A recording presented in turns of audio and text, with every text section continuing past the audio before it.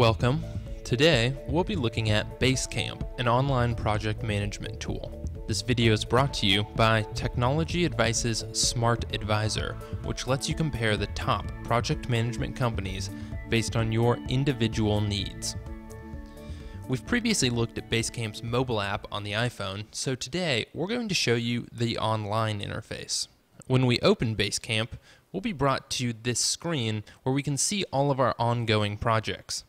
We can also add a new project here by clicking on this little green plus sign. We can also add a new project here by clicking this button on the left. If we click on a project, we can see an overview of everything that's going on with it. There's latest project updates here, the discussions that we have going on, and our in-project to-do lists.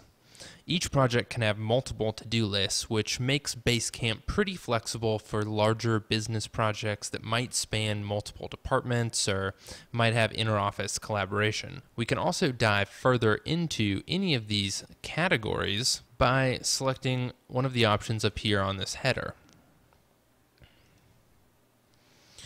There's also the ability to upload a file or text document directly into the project.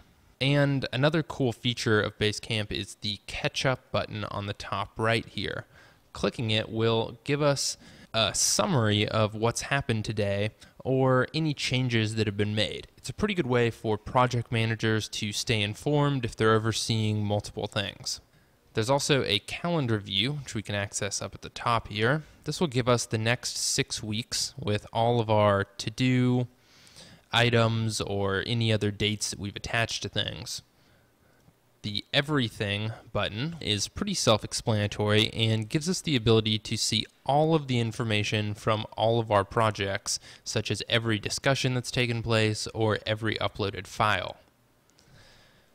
Finally, the Progress button will break down all the actions inside of a project and display them in a timeline format. This is a pretty cool feature if you just want to get a feel of how much was done each day over the course of a week or a month. So, that's the basics of Basecamp's online interface. It's very simple. You should be able to jump in without too much of a learning curve, and it can work for larger projects. The workflow isn't built around any one industry, so it might not be perfect for very specialized companies, but that also means that it can be used by almost anyone. If you're looking for a project management solution or just want to compare Basecamp to other software options, check out technologyadvice.com. You can find software reviews, more videos, and get personalized recommendations all for free. technologyadvice.com. Thanks for watching this review of Basecamp.